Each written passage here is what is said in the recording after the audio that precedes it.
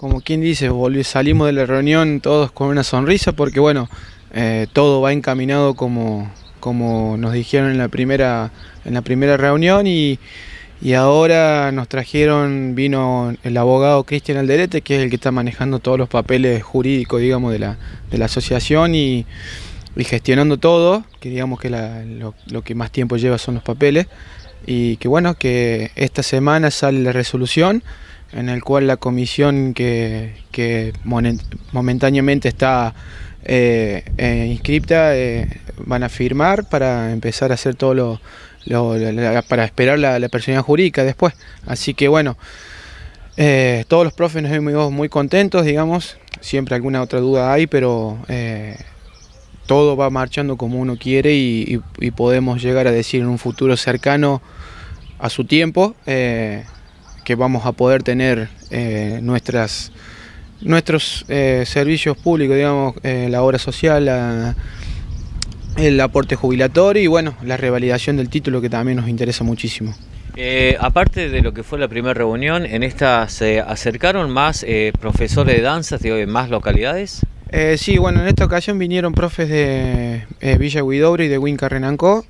Eh, bueno, vino la otra coordinadora que trabaja junto conmigo, Analia Fernández de la, ciudad de Valle, eh, de Jovita. Y bueno, quedaron en venir muchos profes también de la parte de, San Basilio, vino el profe de Bulnes, Edgardo Castro, y más los que estamos acá en la zona, que acá en el pueblo, digamos, Puchu, Nelly, bueno, Johnny, Jonah, yo. Eh, y después, bueno, otros profes que habían, habían confirmado que iban a venir, pero por cuestiones, digamos, de, la danza, que por ahí tienen sus compromisos o problemas de enfermedad, no pudieron asistir a la reunión.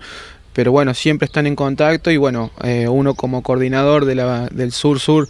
de Córdoba eh, quedamos a cargo para transmitirle la información y la tranquilidad de que todo va marchando como uno quiere. Eh, Maxi, bueno, en la primera reunión se habían tratado dos temas, que era lo que usted apuntaban, que era por un lado en revalidar el título, digamos, y para que puedan dar clase en los colegios, en los centros educativos, y por otro lado esta posibilidad de la obra social. Es decir, que por lo menos en el caso de la obra social va viento en popa. Digamos. Sí, eh, por lo que habíamos logrado entender, ya se habían comunicado desde la Mutual APROS para empezar a,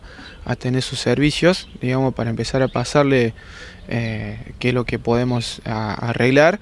y bueno, obviamente van a seguir buscando más, eh, eh, más mutuales, como también van a empezar a, meterse por el lado de los hospitales y de los centros privados. Entonces, eso también a nosotros, no, a, mí a mí me causa mucha sensación de felicidad porque, bueno, uno que tanto trabaja en esto, tantos sacrificios que hemos hecho y como otros tantos profes que por ahí no han tenido esta posibilidad, que, bueno, ahora que, que joven lo tiene ahora y bueno, eh, eh, para ellos profes también que, van a tener en un corto plazo, digamos, porque ya hay muchos profes que ya están jubilados y otros que les queda, digamos, poco tiempo, digamos, por, por la edad de poder dar clase, eh, este como es, van a tener por lo menos el aporte jubilatorio eh, en lo que es tratar de recuperar todos los años que han tenido en la danza. Y bueno, nosotros más que felices porque ellos están luchando también por nosotros, están apoyándonos a nosotros, a la juventud, que, podamos tener algo que por ello ellos no pudieron tenerlo en su momento. Y por último, ¿cuál es la próxima reunión? Eh, eso nos quedamos en coordinar ahora con los delegados, que calculamos que será dentro del próximo mes o el otro.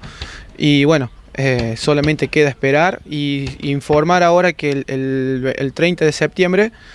se va a presentar la asociación, van a ser tres días, es 28, 29 y 30. El 28 y 29 se hace un plenario de información sobre la asociación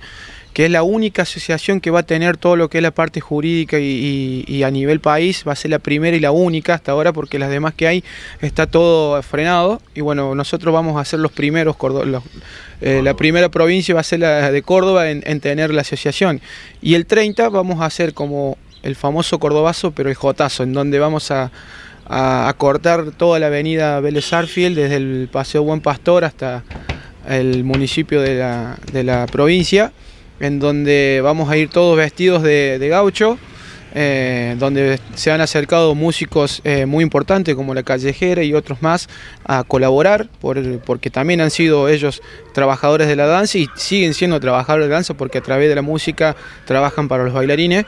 Y bueno, eh, están todos invitados, toda la provincia de Córdoba va a estar invitada eh, a participar de este Jotazo, que se, porque nosotros cordobeses nos identificamos con la J cordobesa. Entonces vamos a hacer lo posible para poder asistir nosotros al Jotazo también.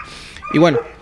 invitarlos a todos a que se, lleguen a la provincia de Córdoba capital a participar de esto que va a ser algo histórico y en donde se va a presentar la asociación.